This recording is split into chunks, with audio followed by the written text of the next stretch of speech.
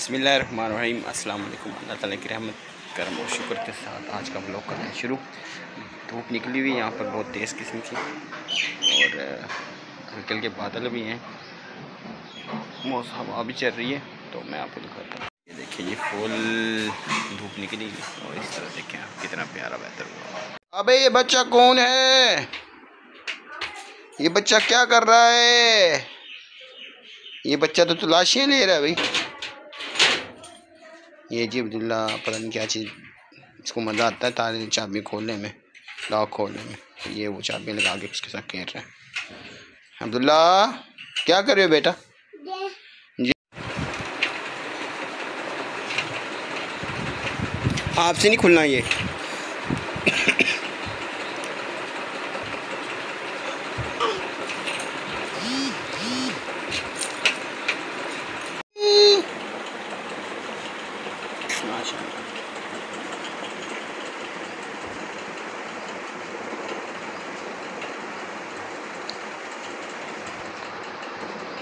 माशाल्लाह भी माशाल्लाह। जूस। जब बिल्ला जिद कर रहा है किसने भाईजान को मदीना फिर चलते हैं। मदीना। कौन है मदीना? कैमरे से घबरा जाते हो क्या बात है आपको? व्लॉग बना रहे हैं अभी मदीना मदीना कह रहा था मदीना मदीना अब्दुल्ला। चुप कर गया पता नहीं शर्मा गया कैमरे को देख के। चलो चले। चलो चले। चलो चले। जी ये भाई आए हुए नेट लगाने वाले और फाइबर का।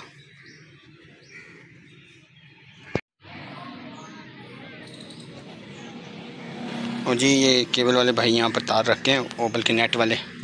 वो कह रहे हैं कि हम आते हैं भी थोड़ी देर तक तो जिनके लगानी है वो आए नहीं अभी तक, दफ्तर में है वो। जिनके लगानी है तो वो जिस तरह आ जाएँगे तो लगाएँगे।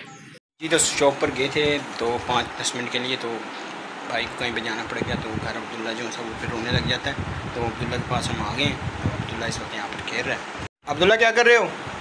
खेल रहे हो? भाई जा रहे हो? जी तो लोड करवाने आए थे तो पहले लोड करवाया तो कम पड़ गया और अब फिर दूसरी दफ़ा दोबारा आए हैं और अब्दुल्ला भी हमारे साथ है। तो चलते हैं वापस घर। अब्दुल्ला यार चाबी तो दे दो इधर। कितने सारे टिड्डे ऐसे उठ रहे हैं, इन्हें हेलीकॉप्टर कहते हैं, आपने कभी देखा होगा जिसके पर बने होते हैं और हेलीकॉप्टर हम जहाज़ कहते हैं। हेलीकॉप्टर की तरह इनका मतलब डिज़ाइन होता है, जिस तरह ये नज़दीक आते हैं। तो मैं आपको हूँ। काफ़ी मकदार में यहाँ पे उड़ रहे हैं। और ये जहाज़ कहलाते हैं जी, जहाज़ की तरह इनके ना पर बने होते हैं और वो काफ़ी स्पीड से उड़ रहे होते हैं ये हवा में।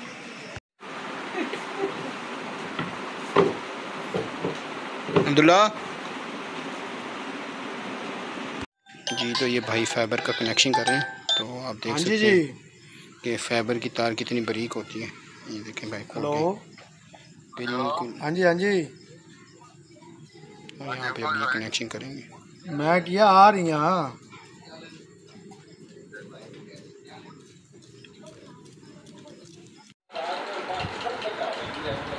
क्या खाना रोटी खानी? आ जाओ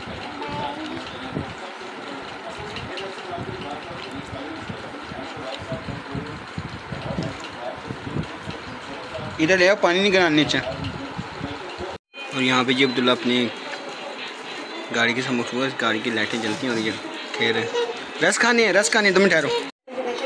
वाह भाई वाह।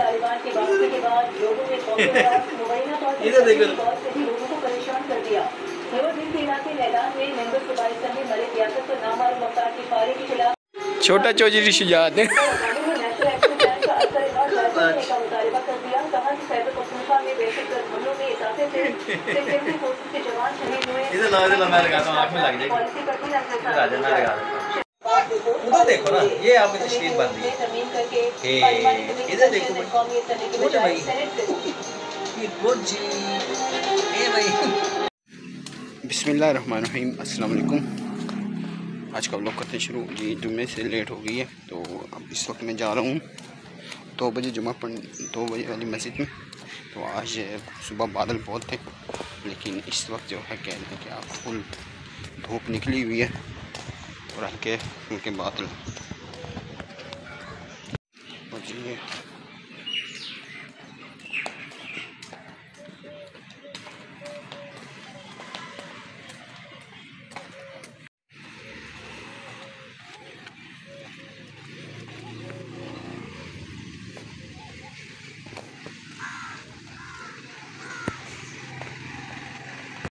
और ये हदीस है कि जितने भी आप कदम नमाज़ पढ़ने के लिए उठाएँगे, उस हर कदम पे आपको एक नेकी मिलेगी। और आगे थोड़ा सा ज़्यादा तो जाऊँगा तो इसलिए मुझे और ये उस सीधा जाके सामने से इस तरफ़ अंदर की तरफ़ पहुँचना है। नहर महकमे की मस्जिद है, वहाँ पर नमाज़ पढ़ेंगे पीछे ये हमारी न्यू मार्केट तैयार हो गई है। आप देख सकते हैं कि भाई ये तीन दुकानें बनाई हैं और ये माशाल्लाह, अब इस जगह हमारी ये पच्चीस, तकरीबन पच्चीस तीस साल के बाद एक नई मार्केट तैयार हुई इससे पहले यहाँ पर सिर्फ़ एक ही दुकान थी, बहुत मुश्किल के साथ। तो ये मार्केट बनी, इससे काफ़ी फ़ायदा होगा। ये है जी सीन, इस रोड का। फिर दोनों तरफ़ में दरख्त हैं बड़े बड़े जिसकी वजह से बहुत ही प्यारा व्यू मिलता है यहाँ से गुजरते वक्त।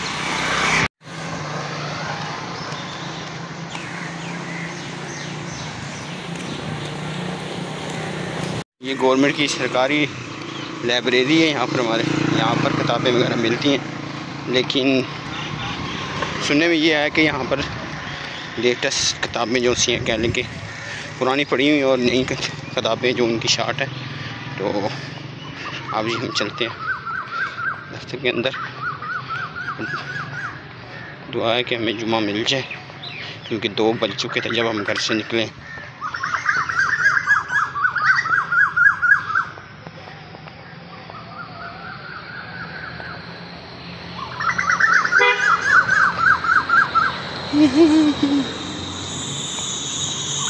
जी तो जुमे की नमाज़ पढ़ ली हमने और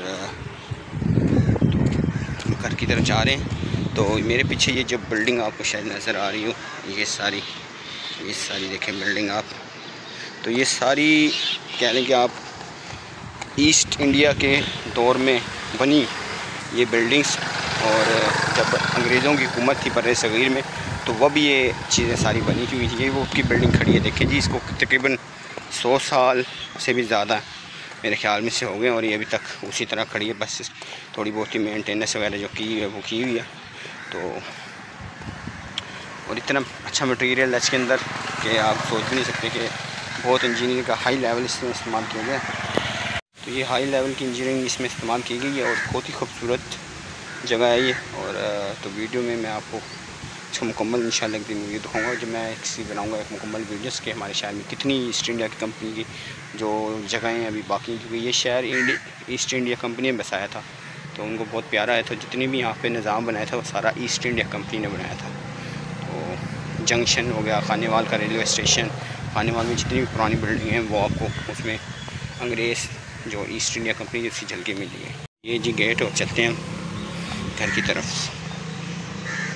तो यहाँ पे सरकारी गवर्नमेंट स्कूल है, ये जितना भी एरिया है, ये जहाँ पे मैं इस वक्त रह रहा हूँ, ये जितना भी इसके इर्द गिर्द का एरिया तकरीबन सारा ही ईस्ट इंडिया के कंट्रोल में था और यहाँ पर उन्होंने अपनी सरकारी जो कह देंगे दफातर वगैरह बनाए हुए थे और इस वक्त यहाँ पर जो मौजूदा हालात हैं या जो मौजूदा दिन है, इनमें भी कह लेंगे यहीं पर उसी जगह पर सरकारी दफ्तर हैं जहाँ पर ईस्ट इंडिया कंपनी ने बनाए थे, ज़्यादातर आपको मिलेंगे। बहुत ही प्यारी जगह है। और मैं आप तमाम को रेकमेंड करूँगा कि ज़रूर हमारे शहर में आए। ये हिस्ट्री के लिहाज से भी मुल्तान के करीब पड़ता है और मुल्तान आप जानते हैं कि कितना कदीम शहर है। लेकिन जब हम अंग्रेज़ के बर शहर में जो हुकूमत देखते हैं, उसके जो आसार हैं, वो हमारे शहर में आपको मिलेंगे ज़्यादा।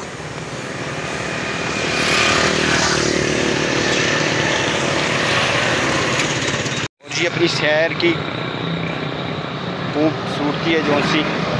तो वो इन मैं अपने ब्लॉग में आपको दिखाया करूँगा, क्योंकि मुझे लगता है कि मैं अपने शहर में से वाहिद वो शख्स हूँ जो सख्त ब्लॉगिंग कर रहा हूँ।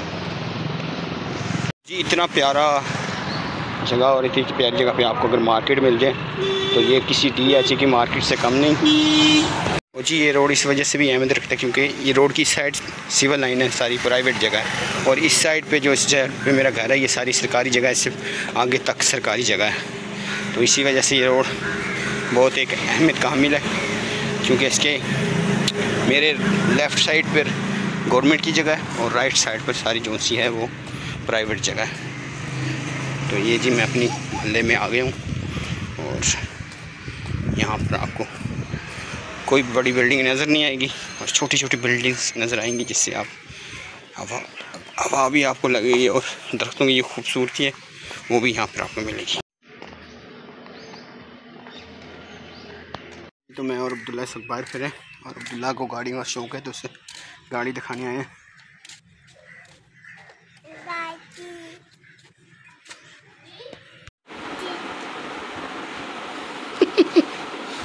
जी देखें, चाइना के नींबू तैयार है और देसी नींबू को थोड़ी सी देर है। दुनिया चला गया जी अंदर खेलने बच्चों के साथ और हम खड़े बाहर उसके इंतज़ार में, क्योंकि बाद का तो वो रोने भी लग जाता है तो फिर उसका ख्याल रखना पड़ता है। साथ वालों के घर चला गया तो थोड़ी देर अंदर चलते हैं और फिर उसको वापस लेने आते हैं। जैसा कि आप जानते हैं कि चौदह अगस्त में दो दिन रह गए हैं, आज बारह हैं और कल तेरह और परसों चौदह अगस्त है। तो इसी हवाले से दुकान पर एक फ्लैग लगा दिए छोटा सा और वैसे तो मैं लगा के चौबीस घंटे रखता हूँ फ्लैग क्योंकि ये महीना हमें अच्छे तरीके से मनाना चाहिए और मुहर्रम का एहतराम भी करना चाहिए क्योंकि इस, दफ़ा मुहर्रम भी है मुहर्रम का महीना भी चल रहा है। तो आप तमाम लोग अपने कह लें कि सेलिब्रेट सेलिब्रेशन भी करें लेकिन एहतियात। और ये जो बाजे वाली नूसत है इससे दूरी रही तो बेहतर है क्योंकि ये भी एक नुकसानदेह चीज़ है। बाकी सेफ़ रहें और पाकिस्तान की जो पचहत्तरवीं साल गिरा है, वो आप तमाम सबको मुबारक हो एडवांस में। और अल्लाह पाक हम सबको इसी तरह पाकिस्तान को बढ़ता फूलता वक्त देखे और पाकिस्तान के दुश्मन हैं, उन्हें नेस्ता नबूद फरमाए और पाकिस्तान को हमेशा अल्लाह पाक क्यामत तक कायम रखें। जी तो इस वक्त हम शॉप पर बैठे हुए हैं और हमारे सामने होंडा सिविक सिविक खड़ी हुई सिविक होंडा स्वीट बहुत प्यारी गाड़ी है। पता नहीं कौन सा मॉडल माशाल्लाह जी, देखिए जी। जिस तरह हर किसी का ड्रीम होता है, इस भाई का भी ड्रीम होगा कि उसके पास होंडा स्वीट को तो अब तमाम चीज़ों में माशाल्लाह बहुत अच्छी प्यारी है गाड़ी अल्लाह पाक नसीब करे, जिनकी है उनको। और माशाल्लाह बहुत प्यारी गाड़ी है। और जी, सुनने में ये आया कि होंडा स्विक बहुत ज़्यादा महँगी हो गई है तो आप इसकी प्राइस है जो बिल्कुल राइट और सही प्राइस है, जो वो आप कमेंट बॉक्स में ज़रूर लिखिए। ताकि मुझे भी अंदाज़ा हो कि मैं मेरे ख्याल में से एक करोड़ तकरीबन एक करोड़ तक की होगी है ये क्योंकि जो नई कीमतें बढ़ी हैं उसके बाद ये एक नई करोड़ एक करोड़ के करीब होगी ये गाड़ी ये होंडा स्विक की।